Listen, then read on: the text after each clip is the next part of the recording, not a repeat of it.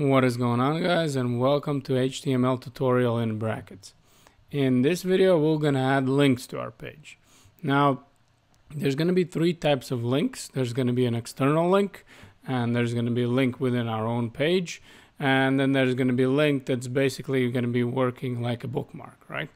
Now we're going to start with an external link and if we want to add a link we should know by now that we need to create an element and that element would be over here a link and now whatever I'm going to be typing in between is going to work as a link right? So I go over here and let's say I'm going to write Google. But as you can see that I'm pressing and nothing is happening right? And the reason why nothing is happening is because we need to add an attribute to this link element.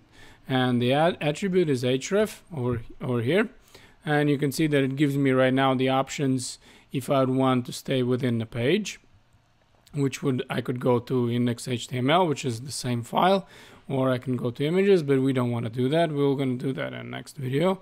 Also over here, we're going to write an external link.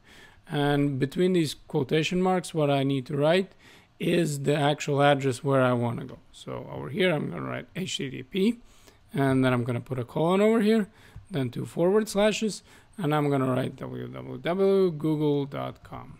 So as you can see now we have added a link to our page and we can just click it and we're going to go to Google. However, one thing that I would want to do is as you're creating a page, right, web page, you would want the people who are actually going maybe to a different website from your website, but you want them to come back. So you'd want this link to be actually opened in a new window not in uh, not just leaving your site and just going somewhere else and then probably maybe never coming back.